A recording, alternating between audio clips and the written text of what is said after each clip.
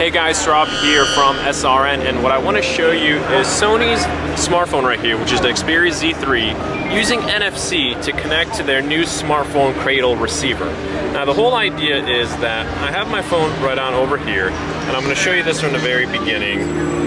When I tap it on my dock, it automatically connects and I can just take my phone and automatically place it in my cradle right on over here and if I want I can lock that down and now my cradle right over here along with my smartphone turns into my car's navigation screen. You can have your navigation within maps, Garmin units if you want, you can respond to email, you can watch movies, music, all the kind of things you'd expect and if I want I can very easily release it and take it off. Now again just to show that to you one more time I would tap right on over here to disconnect and you guys can see NFC is built in here. Again, normally you don't have this on the back of your Sony phone and you have the NFC right on over there. And if I want to, I'm gonna go to my home screen so you see it from the very beginning.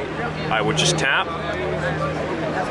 it's connecting with it, and then all I need to do is just place it right on over here and now it's automatically connected.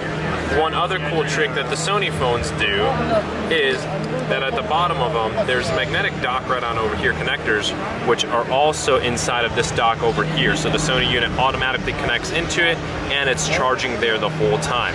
Now this unit itself is available by itself, so it doesn't come with any kind of smartphone, but it's also compatible with iOS units. Now you obviously won't get to do the NFC tap with it, but this unit is fully compatible with iOS as well, and it has a USB charger right there on the left hand side.